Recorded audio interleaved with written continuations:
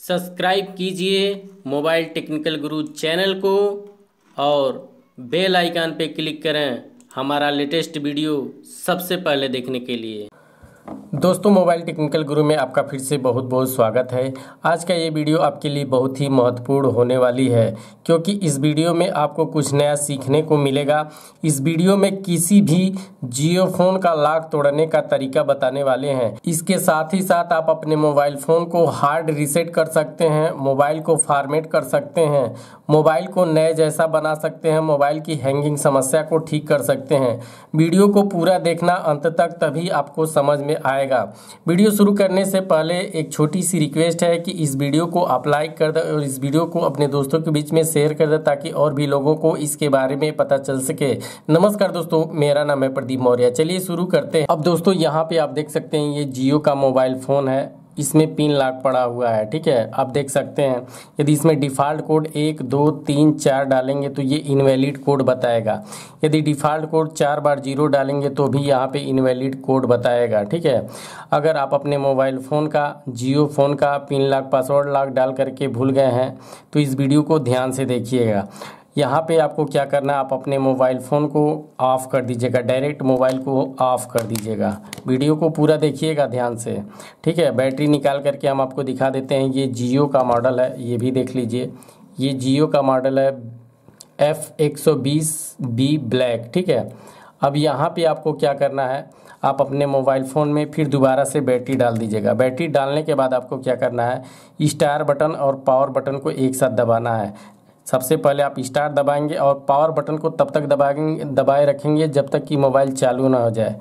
Power, जब mobile चालू हो जाएगा तो पावर बटन को छोड़ दीजिएगा।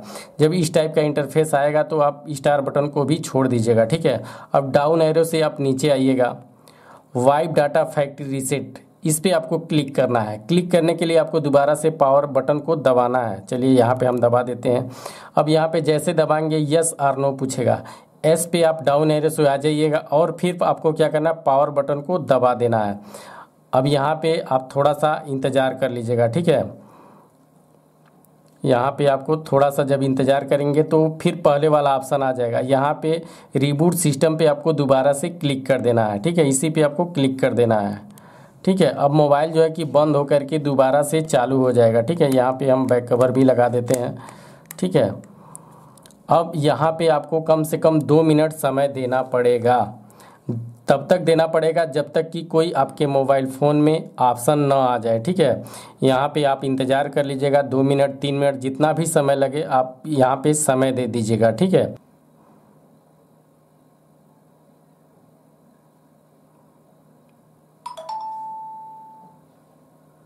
अगर हमारे चैनल पे आप पहली बार आए हैं तो चैनल को सब्सक्राइब कर लीजिए।